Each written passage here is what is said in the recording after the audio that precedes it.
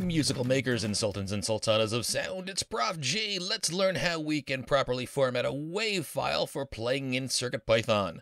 Now, while I supply WAV files in our tutorials, you probably want to use your own files at some point, and Adafruit suggests that your WAV files need to be either mono or stereo, but a bit of a warning, I've seen some students have repeated rhythmic background click noises in their audio files. Oftentimes this can be corrected by saving stereo files down to mono. You'll also want your files to have a sample rate of 22 kilohertz or 22,050 hertz, and files should be saved in a 16-bit format.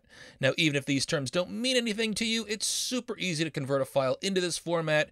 We'll use the free Audacity software available for both Macs and Windows PCs. You can find this by searching for Audacity online or just going to the URL audacityteam.org, click the download Audacity button, select the right file for the operating system you're using, and install this the way you'd install any other software. I've got Audacity up and I'm going to open a file that I already own that I bought via iTunes. This file happens to be in an M4A format, but Audacity reads in most popular formats, including MP3s.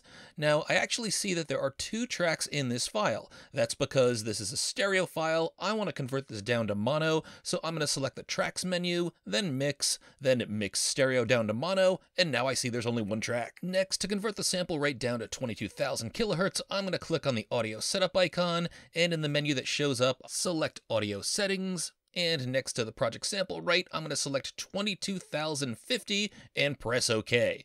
Then finally, to export the file, you select the File menu, Export, Wave. You should see the encoding pull down says signed 16-bit PCM by default. If it doesn't, select this.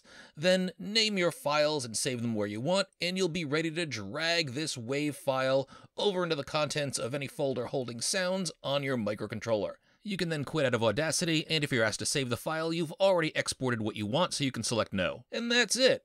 Now, if you're working with audio, there are lots more tutorials on my channel, including how to play multiple tracks at once, how to eliminate pops at the start of sounds by using Audio Mixer, and if you're using a Raspberry Pi Pico, how to add a micro SD card reader, which you'll probably want to do when working with large audio files since the Pico is otherwise space constrained. Dive into our playlists and make something awesome.